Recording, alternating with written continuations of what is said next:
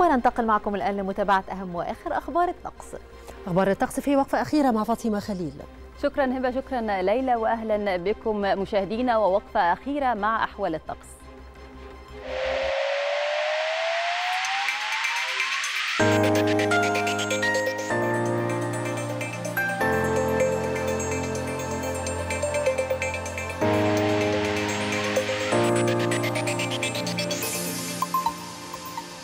يتوقع خبراء هيئة الأرصاد الجوية أن يسود غدا طقس شديد الحرارة رطب نهارا على القاهرة الكبرى والوجه البحري وجنوب سيناء وجنوب البلاد. حار رطب على السواحل الشمالية بينما يسود طقس معتدل الحرارة رطب ليلا على كافة الأنحاء.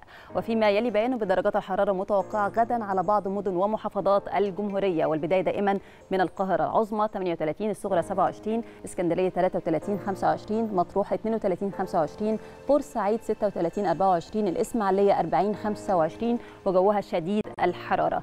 بالنسبة للسويس 39 26 العريش 36 24 طابة 38 27 شرم الشيخ 42 30 الغردقة 42 29 وجوها أيضا شديد الحرارة. الأقصر 43 28 أسوان 44 30 الوادي الجديد 45 27 شلاتين 40 27 حلايب 37 29 وجوها حار. والآن نستعرض معكم درجات الحرارة المتوقعة غدا في عدد من العواصم والمدن العربية والعالمية.